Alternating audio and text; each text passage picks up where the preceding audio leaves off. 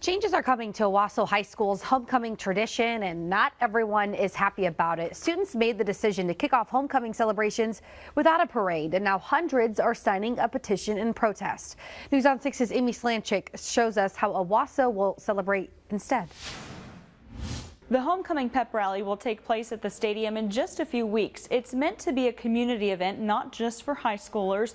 Right after that, there will be a festival instead of a parade. These pictures capture memories made at the Owasso Homecoming Parade in years past. Like many families, it's a tradition for Holly Hubble and her second and seventh grade children. It's just very important for us. It's something that we look forward to every single year. But this year, there won't be a parade. We all love this school. We all love this community.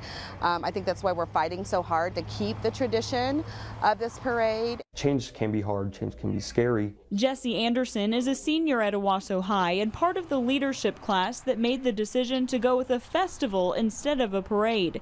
He says that decision was made after learning about unexpected fees for a city permit and concerns about having enough space for everyone. We were running into where we were having to limit the amount of floats in the parade but there were so many people that wanted to be involved. The leadership class is made up of about 25 students, some in elected positions, who make decisions together when it comes to school events. It wasn't just an overnight decision like some may believe. Um, it was actually a very long, um, almost a month long conversation that happened. But there's another conversation happening online. Nearly 700 people, including Hubble, have signed a petition to keep the parade. We would like for them to, to reconsider, if not for this year, then for next year. Anderson also tells me the festival, which will be on school property, will allow student organizations to have all the space they need for homecoming festivities. Amy Slanchik, Oklahoma's Own, News on 6.